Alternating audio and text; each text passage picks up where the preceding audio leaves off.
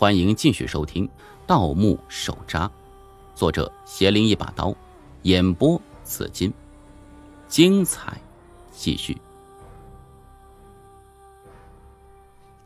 盗墓手札》第三百零八章。之前说过，粽子之所以会起尸，最常见的有三种：一是死前最后一口气没有吐出去。二是受到活人，一般是盗墓贼的阳气冲撞；三是风水遭到破坏，受了地气。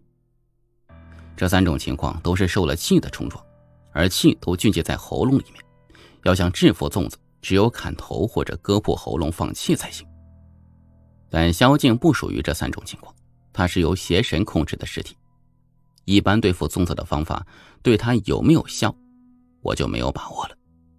因此，我决定将自己所知道的都试一遍。一是被称为鬼魂聚集之地的上丹田，也就是眉心；二是脖子；三是脚底。人生而落地，脚底乃是人气和地气交汇之处，扎穿脚心可以阻隔地气涌入。我本想直接放火，但万一萧静中途醒来怎么办呢？再者说，火烧手段也太过狠毒，便也作罢了。我捏着匕首，正要扎下去之时，萧静却忽然睁开眼睛，脸色怨毒。他猛然伸手抓住我的手腕，阴恻恻地说：“想杀我，别想！”说话间，手指甲暴涨。妈的，难道这女人刚才是装的？她没事试探我做什么呀？萧静此刻力道无穷，一手拽住我捏着匕首的手腕，让我一时间动弹不得。而与此同时，他另一只手猛然朝我插过来，跟那梅超风抓骷髅头一样，直直向我面门而来。我大骇，情急之下往下一倒，避过锋利的手，整张脸自然而然就贴到萧静的胸口了。那胸很软，软到一种烂泥一般的地步，恶臭钻入鼻孔，让人阵阵作呕。千钧一发之间，我喝道：“你不想找石灯了吗？”小静再次袭来的手一顿，脸部死肉抽搐了一下，阴恻恻地说：“我杀了你再找石灯。我说过，一旦我复活，肯定会阻止你。”小静阴狠狠地说：“现实又不止你一个，你没有复活的机会，我会把你撕碎。陈玄，去死吧！”我不知道萧静之前还好好的，怎么会忽然装晕来炸我？但这会儿功夫，我左手已经拔出另外一只匕首，朝他抓过的手猛然一削，直接削掉他一根手指。幸好他不属于铜皮铁骨的僵尸，否则我还真拿他没办法。这一削，他似乎也有痛觉，但痛觉大概不强烈，只微微一顿，便又抓了过来。想也知道，如果他痛觉和正常人一样。那腐烂的痛苦又怎是人人都能受得了的？转眼，锋利的指甲便到了面门，我哪里反应得过来呀？心说：“我命休矣！”就在千钧一发的关头，我身后猛然传出一阵“嗒嗒嗒”的声音，像是有什么东西在向我身后向我靠近，但那声音又不太像是人或者动物的脚步声。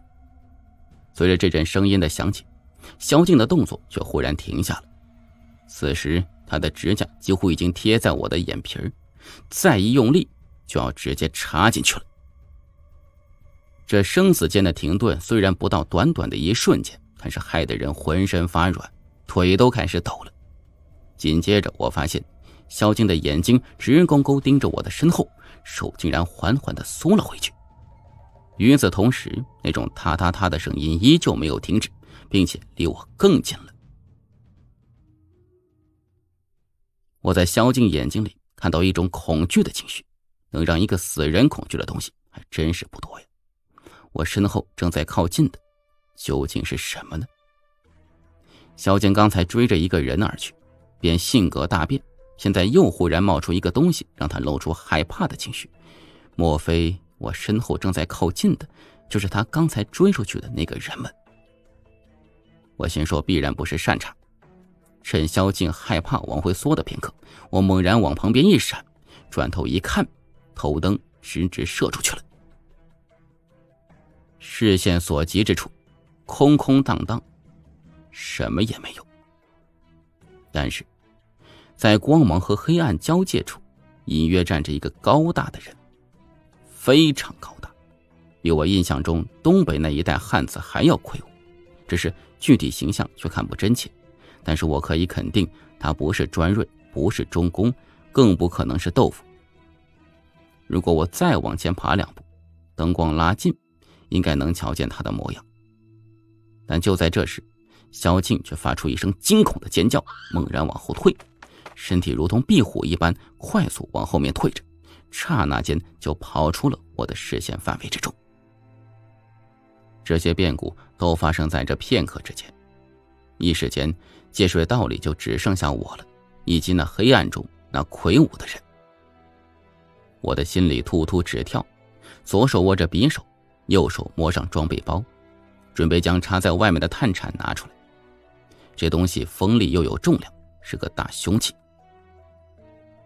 就在我做出这个动作的时候，我看到黑暗中那个魁梧的人竟然转个身，紧接着，踏踏踏的脚步声又响了起来，竟然离开了。我一时间目瞪口呆，饶是我这些年经历丰富，也不由得满头雾水。这是怎么回事？这是什么人？为什么会在这个千年墓葬之中啊？萧静为什么会怕他呢？他突然冒出来，现在又突然离开，难不成是专门出来吓唬萧静的吗？他和萧静有仇吗？这些念头在我脑海中转了几个圈，在那阵“嗒嗒嗒”的声音中，黑影逐渐向界水道深处而去。多年经验告诉我，既然他没有理我，那我也最好不要惊动他，因为能让萧静这个死人感到害怕的，必然是比萧静更恐怖的东西。我转头看了看，心知萧静短时间内估计是不会再找上来了。他离开与我自然是有好处的。按照现在的情况来看，这条界水道直通地宫的核心部分。爷爷那批人当初既然来到这里，必然是顺着界水道进入到地宫中心。我正好顺着这条道寻找爷爷他们的踪迹，顺道进入地宫中心寻找豆腐等人。此刻，那嗒嗒嗒的声音已然远去了，但寂静的界水道中。声音在墓道里回响，听起来依然是很清晰。那魁梧的人影究竟是不是人呢？我已经开始产生怀疑了。如果是人，又会是谁呢？又为何对我视而不见呢？如果不是人，他这么莫名其妙的出现，又怎么莫名其妙的离开？那粽子也太有个性了吧！我心中闪过几个念头，立刻便追了上去，不远不近跟着那个东西。我们始终保持一个比较暧昧的距离。我发现，每当我想前进一步，瞧清楚他的模样时，他就会忽然加快脚步，使我们保持一定距离。这让我立刻意识到，这不是粽子，是个有思想的人，他在和我保持距离。他是谁呀？我跟了一阵。目光紧紧注视前面魁梧的身体。也不知过了多久，那个身影忽然停止了，我心中打了个突，警惕起来，担心他发难。但谁知他这一停，竟然就站在原地一动不动，足足半个小时。我和他比耐心，敌不动我不动，但是又过了十来分钟之后，我稳不住了。觉得事情不对劲，便打起十二万分精神，警惕的往前走。这一次，他没有再和我拉开距离，他的模样也彻底暴露在灯光之下。一看之下，我霎时间腿就软了，因为那不是人，而是一副盔甲。盔甲是一套的，扣得很紧，挺拔站立着，头部是个盔甲，里面空荡荡。根本就没有人，我忍不住倒退了一步，脑海中闪过一个念头：这盔甲成精了吗？我们的距离又拉近了，一时间几乎不敢靠近，一人一甲隔着五六米远的距离对视着。紧接着，我猛然发现，盔甲后面还有一串带血的脚印。霎时间，我明白过来，不是什么盔甲成精，而是刚才有人穿着盔甲。而那个人，在我愚蠢等待的四十分钟，早已经溜之大吉了。这个事实让我懵了呀！没想到，在我眼皮子底下让人给耍了，傻傻等了这么久。一时间，我心中又是恼怒又是惊异。之前我按盔甲身形判断是个魁梧大汉，现在看来，对方的身材应该没有我想象中的健壮，而且脚底还带着血，莫非还受了伤吗？如此说来，这个盔甲忽然出现，是为了救我，但他现在的行为，显然是不想让我知道他的身份的。这个人。究竟是谁呀？顺着血脚印又往前一段，我猛地发现头顶上方有一个黑黝黝的洞口，看样子是被人炸开的，应该是爷爷那批人的杰作。如果我没有猜错，这个洞口的上方，应该就是地宫的中央地带，而那个神秘人，八成是在刚才黑暗中，顺着这个洞口。爬上去了。